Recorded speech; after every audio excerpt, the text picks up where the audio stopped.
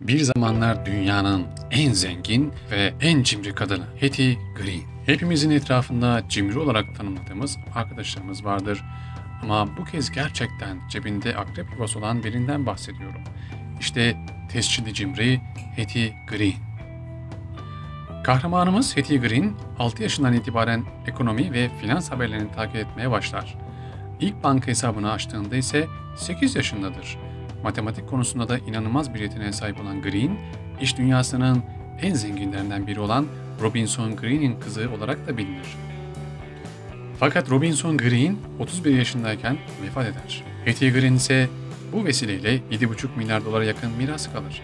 O günden itibaren ise bu kalan serveti artırmak Hetty Green için bir hastalığa dönüşmüştür. 7,5 milyar doları daha az riskli olan ve vergi korumalı bir yatırım aracı olan hisse alım satımıyla uğraşmak ve parasını kat ve kat artırmak için Wall Street'te değerlendirmeye karar verir. Ülke ekonomisinin kırılgan bir dönem geçirmesi ise büyük bir fırsata çevirir Hetty Green. Wall Street sakinleri ise bu sebeplerden ötürü ona Wall Street cadısı lakabını takar. Bu şekilde servetini yüze katlayan Hetty Green, dönemin ünlü milyarderi Ned Green ile dünya evine girerek inanılması güç bir servet imparatorluğunun da sahibi olur. Hetty için işler yolunda gitmeye devam etse de eşi Ned, yanlış yatırımlarda bulunarak bir süre sonra iflas eder. Hetty, kocasının bu hatasını affetmez ve ona yardım etmeyi reddeder. Akabinde kendisini de evden kovar. Servetini artırmaya devam eden Hetty, bunun aksine tasarruf konusunda da çığır açan yollara başvurur. Evinde asla kalorifer ve fırın kullanmayan milyarder, ısınma gibi ihtiyaçlarına hiç para harcamazdı.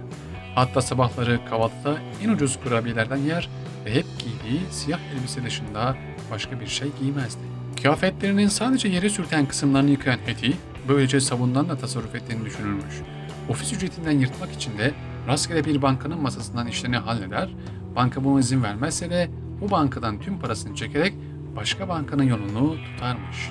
Bu cimriliğini ise dünya kayıtsız kalamaz ve sonunda ise ilginç bir şekilde Guinness Rekorlar kitabına dünyanın en cimri insanı olarak girmeyi başarır. Okuduğu bir gazeteyi bile öğle saatlerinde tekrar satması için oğluna veren Hetty maalesef işi biraz daha abartır ve cimriliği yüzünden oğlunun bacağını kaybetmesine sebep olur. Hetty'nin 11 yaşındaki oğlu dağda kayak yaptığı sırada bacağını kırar. Kırılan bacağın tedavisi için ücret ödemek istemeyen Hetty, oğlunu kimsesizlerin tedavi merkezine götürür. Oradaki sağlık merkezinde yanlış tedavi sonucu bacağı kangren olan Hetty'nin oğlu bacağını kaybeder. Ölümünde bile cimriliğinin payı olan Hetty, New York'ta 81 yaşında bir markette yağsız sütün fiyatı üzerine bir tartışma yaparken yaşadığı kalp krizi geçirerek hayatını sonlandırır. Ve böylece cimrilikle öl duasını Hetty üzerine almış oldu.